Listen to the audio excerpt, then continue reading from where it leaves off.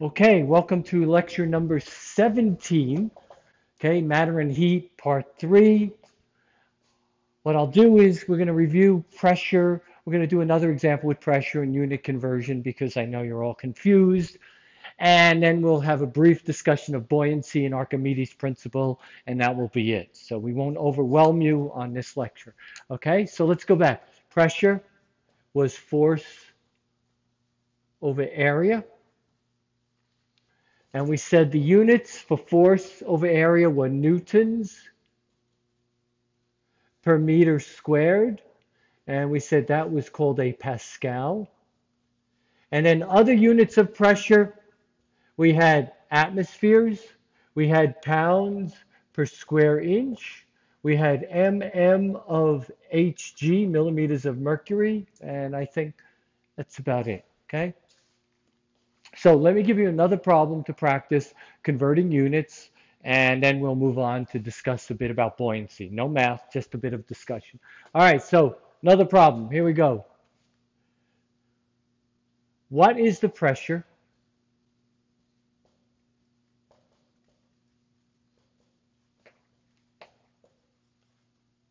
exerted by a 60, let's see, micro Newton force on an area of 20 nanometer squared. Okay, what is the pressure exerted by a 60 micronewton force? On an area of 20 nanometers squared. Now remember, we want the answer in pascals, so we have to have newtons per meter squared. We have nanometers squared. And we're going to have to convert. Okay? All right. Pressure, F over A. Fantastic. The force is 60 micronewtons, micro, what is that? 10 to the minus 6 newtons divided by 20 nanometers squared. Remember, one nanometer is a billionth of a meter. So one nanometer squared is 10 to the minus 18 meters squared. Did I do that right? That looks right. So here, nanometers squared, I'm going to put 10 to the minus 18 meters squared. Now we have our newtons per meter squared. 20 over 60, uh, 60 over 20 is 3 times 10. Let's do this. Minus 6 minus a minus 18 is plus 18. So we get minus 6 plus 18. So 18 minus 6 is 12 and the answer is in pascals. Okay, so this would be the answer. 3 times 10 to the 12 pascals. All right, so you need to practice those unit conversions. Again, go to Khan Academy if you have to, or go to an earlier lecture. Good.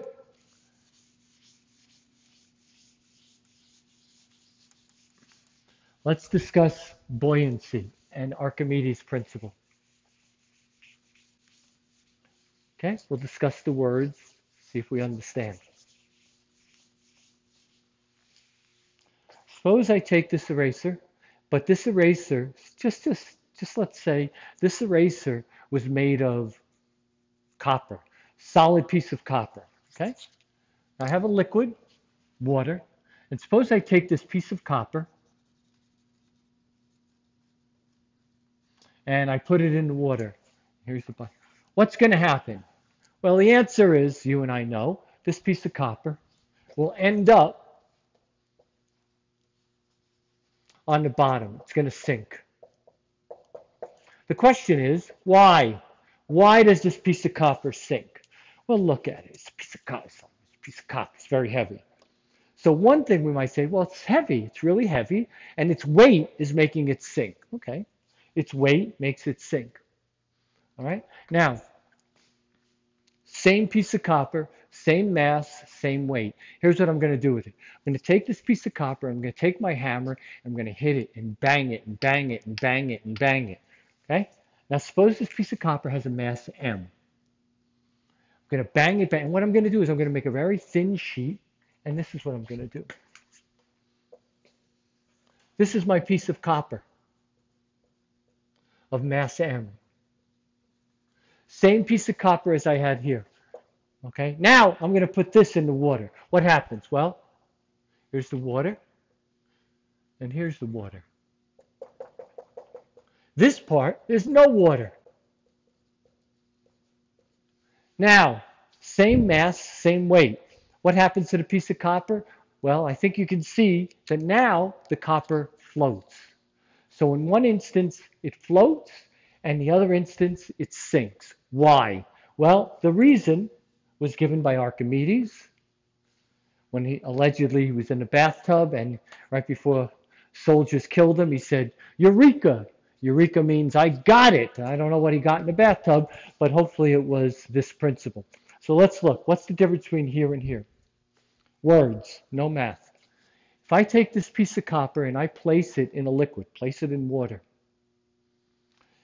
Wherever that copper is, you see there's no water there. It's displacing water. Right? The copper is displacing water. All right? Archimedes' principle says that the buoyant force, there's going to be a force upward called, called the buoyant force. This is the force that you you know about this. When you try to lift your friend, ah, Vito, guy weighs a ton. In, when you go in the ocean, you try to lift them. It's easier. Why? Because the water seems to be helping. So this buoyant force is a force upward. The weight is the force down. So clearly, if something's going to float, the force upward has to be greater than the weight downward. The force upward is called the buoyant force. Archimedes said that the buoyant force is equal to, listen to the words, is equal to the weight of the displaced fluid. Remember, fluid could be a gas or a liquid. In this case, our fluid is, say, water. The buoyant force, the force upward, I'm going to go F buoyant. The force upward, the buoyant force,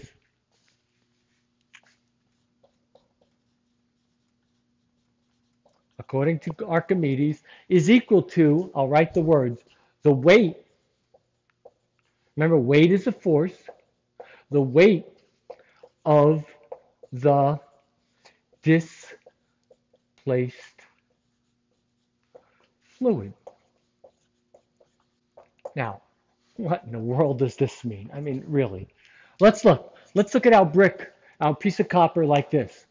When the piece of copper is solid like this, there's no water here. There's no fluid. So the force upward is equal to the weight of the water that would have been there. Now, the weight of the water that would have been there obviously is less than the weight of the copper that really is there. So the copper sinks down because the buoyant force, the weight of that water that's displaced, is less than the weight of the copper block itself. Let's look in this picture. Where I say no water, this no water zone is really what we care about. It's going to be the, we're going to be interested in the weight of this no water zone. Okay? What would be the weight of the water in this large region? Well, this is a big region of water. And if you've ever carried a gallon of water, you know it's pretty heavy. Well, the weight of this displaced fluid, the displaced water right here, is greater than the weight of the copper, this little piece of copper. Now we're displacing a lot of water and the object floats. Clearly, way before Archimedes, fishermen and sailors from New Zealand to Africa, to China, to Native America, people knew how to build boats. And so they understood intuitively this idea of displaced fluid. In a ship, right? Suppose you have a ship, one of those big ships in the harbor, right? You always see the water line, right? If the water goes above that, guess what? The water sink, the uh, ship sinks. Inside a ship, you must have essentially air. This is called ballast. You need a region with no water. Again, to take advantage of Archimedes' principle. So the buoyant force, the force upward, is equal to the weight of the displaced fluid. Let's see how this could be used very quickly in a balloon. And we'll talk more about this in another lecture about adding energy. But let's just talk for a second. Suppose you take a balloon, ordinary rubber balloon, okay? And here's a balloon, just sitting on the table. Now, suppose you blow it up with your mouth. You blow it up. So now you have the balloon like this. And it's filled with air.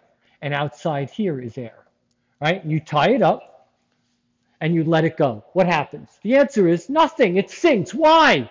Well, the weight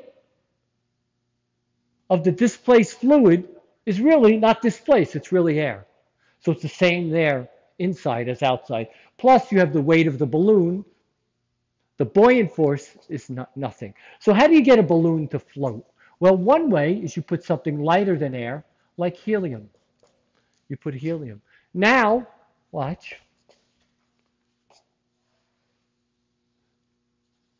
Here's my balloon. It's got helium in here. Helium means no air. So the air that's displaced has a weight that's greater than the weight of the helium. So the buoyant force, F up, the buoyant force, is the weight of the air that's not there. And that weight of the air is greater than the weight of the helium, so the balloon rises. What about a hot air balloon?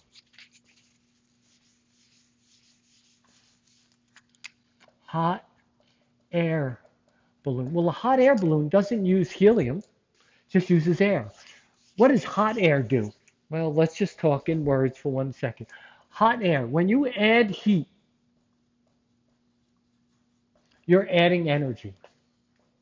We'll get back to this later.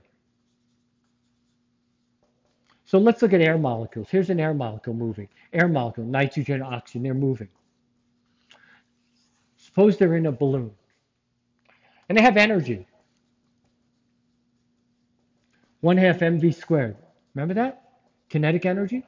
So each particle is like a little bumblebee hitting the wall, pushing out. When you add heat energy, you give greater kinetic energy. The energy goes to giving kinetic energy to the part. They start moving faster. When they move faster, they collide harder. When they collide harder, they push on the walls more. When they push on the walls more, the balloon expands. So when you heat something, it expands. As it expands, the density, the number of particles stays the same, but the number of particles now is in a greater volume. So here's my analogy. We have 30 children, 30, 30 school kids in a class. The density of kids is 30 kids in the class. Pretty dense, small classroom.